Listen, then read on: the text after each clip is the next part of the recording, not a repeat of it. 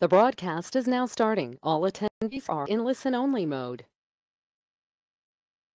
Hello guys, welcome to the Salesforce Career Guidance by Interlogic, your school of Salesforce on YouTube platform. So in this school today for 5 minutes we are going to learn one very important lesson. Part number 10 of Salesforce real-time scenarios and scenario based interview questions. Let us see how you should answer this kind of questions. So let us go for the question number 1. What will happen if we undelete junction object? So when we undelete junction object, then initially the master detail relationship which was present, it will be converted to lookup relationship between those two objects. Next question. What will happen to child records if we uh, delete parent record in the lookup relationship? As lookup relationship is a loosely binded relationship, nothing will happen to the child record.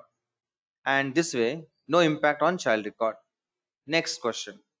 What will happen to child records if we delete parent record in the master detail relationship?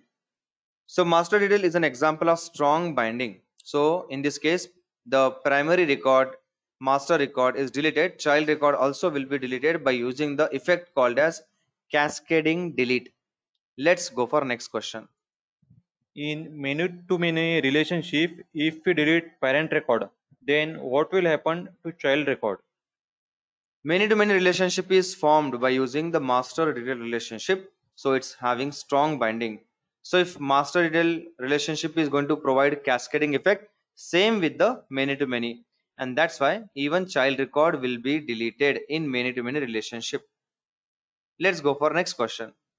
What is grant access using hierarchy in Salesforce? In the role wise access in Salesforce, if you want the junior person's data to be available to senior person in the role hierarchy by using role access, then grant access using hierarchy checkbox should be selected. If it is not selected, then a senior person in the role cannot see data of a junior person in the Salesforce data or in the Salesforce system. So this way you can answer all these questions in the interview. And that's all with the part number 10 let's meet, the, meet in the part number 11 in the next video. Till then good luck for your upcoming interviews